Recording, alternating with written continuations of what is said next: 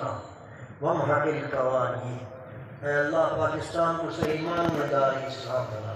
اور پورے عالم اسلام کو اسلام کے ساتھ بیداری نصیب فرما۔ ہمارے خفتہ ضمیر کو بیدار فرما۔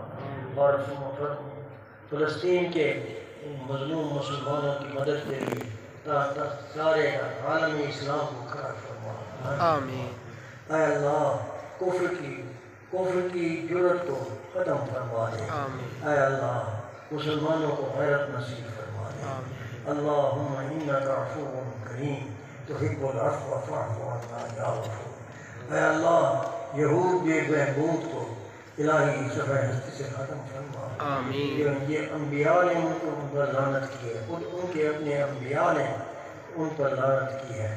اے اللہ ان کو پہچانوں سے دور فرما اور فلسطین کے کمزوروں کو طاقت دے ہمت دے کہ ان کے بیل کو بھی ختم فرما دے۔ آمین اللهم انك عفو كريم تحب العفو فاعف عنا يا غفور اللهم وفقنا لما تحب وترضى وصلى الله تعالى على ہمیں خیریت کے ساتھ سب کو گھر پر پہنچا۔ راستے کے حادثات سے سب کو محفوظ فرما۔